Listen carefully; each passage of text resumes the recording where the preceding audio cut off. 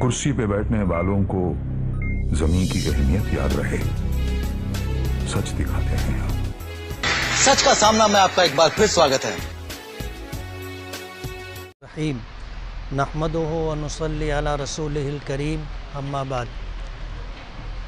आज इस वक्त हम लोग मुबारक सेठ के घर के पास जो रोड है हमारे प्रतिमा वाले जो साथी हैं इन लोगों का और महल्ले के लोगों का तकाजा था कि ये रोड बनवा करके दो। तो पिछले आमदार निधि के अंदर हम लोगों ने ऐसे बहुत सारे काम डाले थे। मालेगांव में सूरत हाल ऐसी है कि अव्वलन काम होता नहीं और जब काम किया जाता है तो दूसरी सियासी पार्टियों के ज़िम्मेदार उन कामों को रोकने की कोशिश करते हैं। उनकी समझ ऐसी है कि अगर काम ये करेंगे तो इनका नाम होगा। और आइंदा सियासी तौर पर हमारा नुकसान होगा। उसकी वजह से काम रोकने की कोशिश की जाती है। ये जो काम है, ये साल भर पहले हो जाना था। लेकिन कुछ लोग जो है इस काम को ले करके हाई कोर्ट गए थे और इसके ऊपर पिटिशन डाल करके स्टे ले लिया था। और ये मामला पेंडिंग था। ये मामला चलता रहा और अल्हम्दुलिल्लाह सुप्रीम अपने हाई कोर्ट के अंदर जब ये सारी बात आई तो उनकी पिटिशन रद्द कर दी गई और अपने को काम करने का मौका मिला। जिस रोड पर हम खड़े हैं ये रोड जो है आ, दो रोड हैं। पच तीस लाख रुपये का खर्चा है बजट है और मुबारक सेठ के बंगले के पीछे एक ओपन स्पेस है। उस ओपन स्पेस को महफूज रखने के लिए 40 करोड़ 40 लाख रुपए का काम वाल कंपाउंड का और दीगर चीज़ों का दिया है। ये जो पीछे बाग है अगर ये वाल कंपाउंड नहीं होता तो ये जगह भी लोग कब्ज़ा करके बस जाते। तो महल्ले की खूबसूरती ख़त्म हो जाती और महल्ले के बच्चों की जो ज़रूरत है, महल्ले के लोगों की जो ज़रूरत है, ओपन स्पेस ख़त्म हो जाने की वजह से सभी दिक्कत में आ जाते हैं। हमारे शहर के अंदर जितने ओपन स्पेस है, सब पर लोगों ने कब्ज़ा करके, झोपड़े बना करके लोग रह रहे हैं।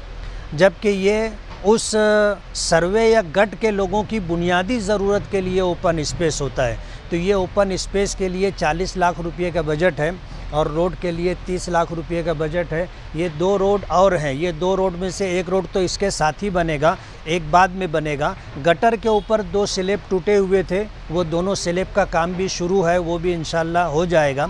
तो हम तो कोशिश कर रहे हैं कि पूरे शहर के अंदर जितनी भी बड़े रास्ते हैं सरे दस्त वो सरे, बड़े रास्ते बन जाएँ और उसके बाद हमारा प्रोग्राम और भी है, अल्हम्दुलिल्लाह 28 करोड़ रुपए के कामों का वर्क ऑर्डर हो चुका है। अभी पीछे यहीं करीब में अज़ीज़ कल्लू स्टेडियम से लग कर के आगे नौरंग कॉलोनी, अज़ीज़ कल्लू स्टेडियम के बीच में हसनपुरा था। एक ज़माने से वो काम पेंडिंग था।